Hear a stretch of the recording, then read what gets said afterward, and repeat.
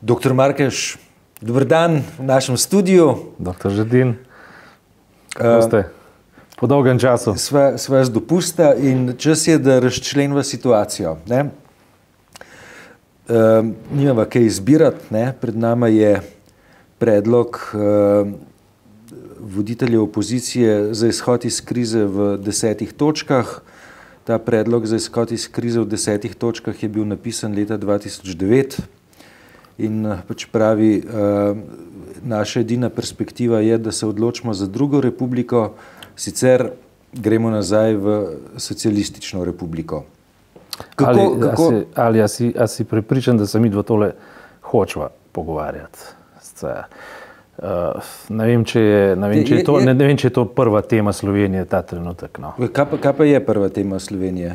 Ja, Košarka. Jaz, recimo, košarka ni tema, to je šport, ampak uh, družbena tema pa če boš, da se pogovarjajo o, o, uh, o, o tem, kar se je dogajalo na Blejskem forumu. Jaz sem, jaz sem 26 vprašanj že pripravljenih zate iz, tega, iz, iz, iz te tematike in zdaj mi torpediraš tlele šov. Ja, tak sem, ampak glej, mislim, gre za prioritete, ne, da se ne bi hotel pogovarjati, sam se mi zdi, da, da bi bilo zdaj izgrajevati uh, vem, na ideološki osnovi vodjo opozicije popolnoma zgrešeno. Mi, mislim, mi dva bi zgrešila topiko, mi dva bi bila pravzaprav komentatorsko neresna. Ne? Jaz mislim, da je zdaj prava, recimo, prava tema bi bila zdaj pogovarjati se o motivih ustajnikov, ki so popolnoma legitimni in, in mislim, da podpore vredni.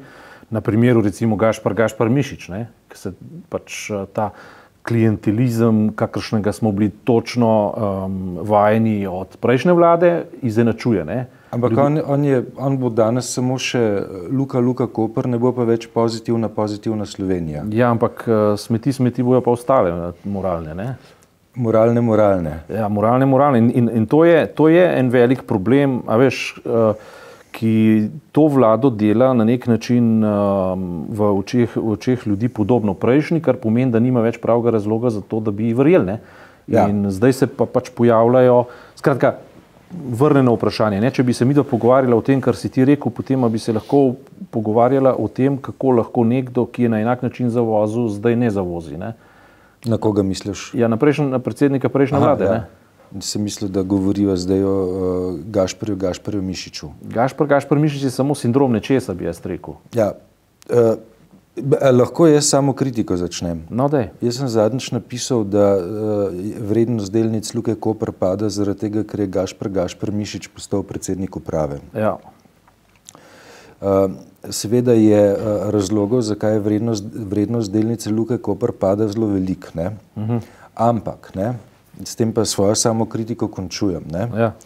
Uh, rating Slovenije kot države, ne samo Luke Koper, pač pa kot države, uh, ob takih peripetijah pada. Ne?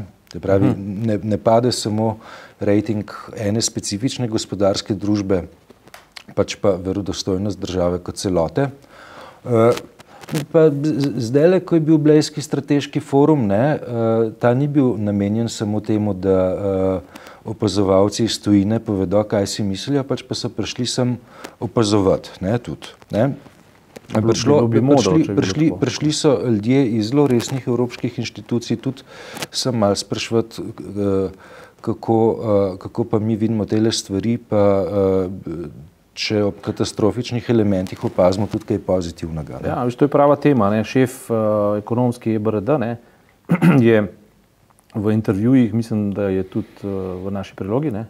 Z, v naši prilogi bo, ne, je pa ja. dal intervju tudi uh, slovenski tiskovni agenciji, ampak naš bo, naš bo bolj izčrpan, bolj poglobljen. Tako, Miha Jenko to Naredil, v tem trenutku ustvarja. Kot se šika. Ja. Ampak eh, recimo tisto, kar je bilo res opaziti pri, eh, kako že je, Erik. Eh, Šved. Ja, v glavnem, no, ta gospod, katerega mi na moment ne znam citirati, ampak um, v tistem intervjuju, onem drugem, ne, uh, pač za STA je tri do petkrat zelo, zelo jasno, ampak zelo, zelo jasno povedal, da je problem Slovenije preprosto v tem, da si mora postaviti okvir in se ga potem tudi držati. Skratka, vnaprej dogovorjena pravila. Iz tega vam pride verodostojnost in iz tega vam pride zaveza. In to je in glavno sporočilo in problem Gašpere, Gašpere Mišiča je ravno v tem, da je v bistvu delegitimiral to koalicijo kot celoto a veš, pod lobijskim vplivom, ne vem koga, Zorana Jankoviča. Mogoče, Se ne veš, ne, v resnici. eh, kdo je v Ja. resnici, ne vem. Ne? Ne? Ampak, ampak če bi vsaj vedel, kdo je. bi bil tako, ne, ampak, ja. je, ampak v bistvu je, je delegitimiral nek etičen uh, um, potencial te vlade, ki bi bila recimo teoretično zmožna dati neko zavezo, da bo državo rešila na pošten način. In če ljudje temu ne, ne verjamejo, da bodo morali, a veš, srednji sloj, pa v bistvu uh, davkoplačevalci, tako rekoč uh, vsak dan in z, z novimi naraščajočimi davki.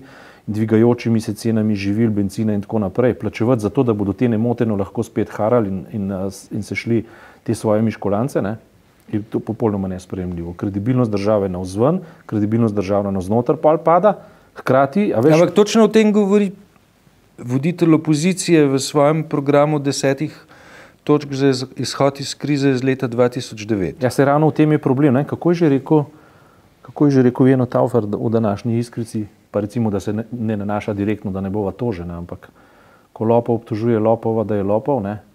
Ko, jabolko, ja, ko, ko črv reče, da je jabolko črvivo. Ja, tako ne.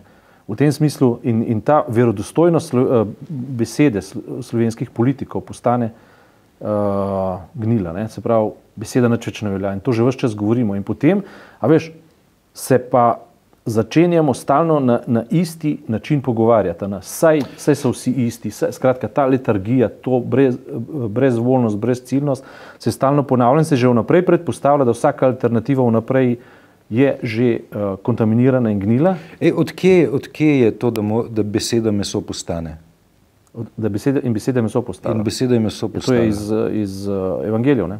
Ja, ampak v kakšnem kontekstu? Uh, to je v kontekstu Maše, Ja, namreč zaradi tega, ne, ker problem, ki ga jaz vidim, zadnje večerje. Ne? pro- bese- problem, ki ga jaz vidim pri predsednici vlade, ne, Ja. skratka, nekdo, ki vodi eno firmo, ne, mora imeti zadostno karizmo, da se vsaj predpostavlja, da njegove besede lahko postanejo meso. In kar ni recimo. In, in, veš, v, ja. v primeru Gašpr, Gašpr Mišič, ne, pride predsednica uh, vlade na uh, nek dogodek in potem tam pove, da je um, poslala zelo jasna sporočila, da uh, ta oseba ne sme in ne more postati uh, šef Luke Koper. Ne, in vendar uh, iz teh besed uh, ne nastane meso, ampak uh, šlamastika. Ne. Uh, točno to je, ne? ker ljudje, kako bodo ljudje um, izgrajevali suverenost, notranjo suverenost te države, če vanjo sploh ne verjamejo, če sploh ne verjamejo, da je mogoče. Ne? Zato jaz pravim, ne, da je v bistvu um, to uh, ustajniško gibanje absolutno najboljša možna poteza tega trenutka. Preprosto zato, ker bodo ljudje uh, povsem jasno povedali, da, da, da zahtevajo, da, da, da, da beseda meso postane. Skratka, da ima beseda težo, da iz, iz, dane besede pridejo posledice in da se nič ne more zgoditi uh, brez posledic. Ne? A Veš, no, vse zadnje, recimo, če smo se že toliko mesecev pogovarjali o pač dogajanjih v katoliški cerkvi in, in pa sveti polomiji, ampak tukaj imamo zdaj uh, posledice. Ne? Mislim, inštitucija je potegnila poteze. Ne? Skratka, uh, in, in te sploh niso več smešne, niti enostavne, niti, veš, mislim, so zelo drastične in zelo kategorične. Ne? In jaz najmanj um, nekaj podobnega v smislu, z- veš, da, da ljudje dobimo vtis, da gre za res. ne, Pričakujem tudi v slovenski državi. Ne? Uh, a veš, so pač drugi mehanizmi, zato imamo pravosodje, zato imamo pač glas ljudi. Mislim, da bo tudi glas ulice oziroma ustajniško gibanje verjetno k temu nekako pripomoglo, ampak ne more, biti, uh, ne more se dogajati uh, svinarija brez posledic. a ne. Ker zakaj gre v Luki Koper, če so čisto natančna? Spet gre za izredno velik denarni tok, ki ga nekdo hoče obvladati, ga bo sicer čisto legalno pelal, ampak uh, uh, način, ne, kako se bo denar prijemal od določenih um, posrednikov, ne, je pa njihov. Ne. Ja, mislim, gre za nekaj deset, nekaj sto in tako naprej. 50 milijonov kako evrov. že, Ja. ne, čistega ne, Ja. dobička, ali kako že gre. Ne? Ali, ali gre za, za toliko, to, kar se ni, niti ni Ne, pomembno. Ampak gre za en, za en kanal, ki je še relativno uporaben in eh, že sama ideja, da ga, da ga nekdo lahko nadzoruje in, in da korporativno upravljanje v slovenskih firmah ni um, samoumevno, je, je žalostno. Ne? Se na tak način bo tudi država funkcionirala. Ne? Ampak vrniva se na izhodiščno točko, ja. ne? se pravi na načrt za izhod iz krize v desetih točkah iz leta 2009. Ja, ok, vrniva se. Ne? Imamo dialektični krog. V tem dialektičnem krogu imamo levico in desnico, ki sta dogovorjena za učinke in ti učinki so slabi, ne evropski. Torej je treba stopiti ven iz scheme in to schemo preprosto prečrtati in zanikati. To je osnovna ideja. In zato niti bivši šef opozicije Janša ne more narisati rešitve, tako kot levica ne more očitno ne narisati rešitve, zato ker so vsi um, sadi, sadovi zastrupljenega drevesa. A, a je to, to zadovoljno? Mislim, kaj pa če eni pa drugi naredijo veliko koalicijo? Potem smo pa v buli, veliki buli. SD, tem, SD pa SDS pa velika koalicija ni v redu. Dobar, jaz osebno mislim, da ni v redu. Ne? Ampak ja. uh, je pa vsaka rešitev, ki bi pač bila demokratično izvoljena, mo bi morala Večkaj, biti sprejeta. Jaz, jaz kot sem jaz izgledal, ne, je, je tako ciljano ne, na, na, na to, da v tem trenutku ne bi sestavili tehnične vlade. Ja. Kaj ti, ne, če se gre sestavljati tehnično vlado, potem je ta vlada narejena tako, precej na širok. Ne? Če je narejena precej na širok, Dajmo reči, da obstaja določena verjetnost, da v tehnično vlado pride en, ki je blizu tej opciji, pa tej opciji, pa tej, pa tej. Ja. V tem primeru bi v tehnični vladi verjetno bil tudi kdo, ki je blizu SDS-u. Recimo. Ampak kaj to pomeni za SDS za, za avtorja pisma? Ne? Pač pomeni, da je v njegovi senci začelo rast drevo, ki utegne postati večje od njega ja. potegne postati pomemben player. Ne, in uh, uh, z tega naslova bi jaz videl to kot gesto, ne, da, da ima preprečati, da bi morda kje še kakšno drevo začelo rasti in uh, prehitevati po levi ali pa po desni. Zdaj, Slovenija potrebuje kvalitativni preskok na vrtenje v že znanih krogih in to bi bilo že vrtenje v znanih krogih. In zato uh, se mi zdi, da to, kar uh, od nas osovražena Evropska unija vendarle korektno zahteva, je to, da so vnaprej podana pravila in vnaprej podane zaveze, ki, ko jih prostovoljno sprejmeš, se jih preprosto držiš. Ne. Evropska unija ima pač zelo veliko stvari na robe, še posebej pod diktatom določenih držav, še posebej ima nerazčiščene uh, zadeve glede kapitalskih in pa bančnih stvari. Ampak to je drugo poglavje. To lahko kritiziramo v ločeni seansi. Na vsak način pa, če se Slovenija odloči za neko strategijo in ljudem da neko strategijo um, v, v, v sprejem in obravnavo, če jim naloži više davke, če jim naloži višji DDV, če jim naloži ne vem kaj vse, ne, veš, potem si absolutno in pod nobenim pogojem, nobena politična opcija ne more prvoščati to, kar je naredila prejšnja Janševa vlada, da je v medvladju skadrovala koliko tisoč ljudi. Ne? S tem, ko je to naredila za mene, za vse večne čase upravila, s tem imenom nimam, nočem imeti nobenega upravka več. Ja. In, in naprej, ne? V trenutku, ko Gašpr Gašpr Mišič si sploh drzne pomisliti na to, ne? da bo vzbujal občutke klientelizma v vladi, ki trdi, da je drugačna, ne? potem mora ta vlada zelo resno razmisliti, kaj bo sama sabo počela. Ali se zelo, zelo jasno ograditi od tega in tudi pokazati, da se je ogradila, formalno pokazati, da se je ogradila. Ne? Ali pa mora iti, ampak mi imamo zdaj ta problem, da si več eksperimentov za prihajanje in odhajanje več ne moramo prvočiti. Ja, lej, ampak to, ti, si, ti si prej rekel, da je, da je, da je on simptom. Ne?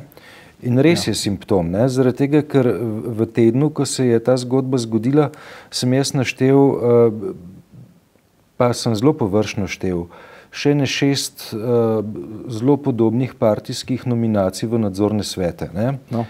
Uh, Pa če bi, če bi natančno štev, uh, bi uh, nedvomno tudi ta teden na, naštel. Ja. Uh, ker je point, ne, point je ta, ne, da uh, veš, slovenska očkodninska družba ima nek kodeks, ne, ki pravi, da politični funkcionarji naj pa ne bi sedeli v nadzornih svetih. Ja. Pok, ne. Pa so, ne pod, podpredsednik, občinski šef, eh, to ono tretje. Ne sme lobist sedeti v nadzornem svetu, pok, lobista dajo v nadzorni svet. Ne? Potem naslednji dan gre lobist um, na registr uh, lobistov na protikorupcijski komisiji, pa prosi, da se ga izpiše. Ne? Vse so ga izpisali, ne? ampak v trenutku, ko je bil nominiran za člana nadzora, je bil lobist. Ne?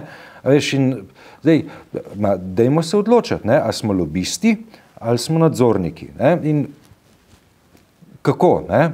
Ne, ker potem, Pa, pa, pa, a veš, domnevam, da, veš, domnevam, da, da gre, oziroma vem, da gre za dostojno osebo, ne, ki se je v določenem trenutku odločila, pač, da bo lobist, ker je časti vreden posel, ne, časti vredna služba.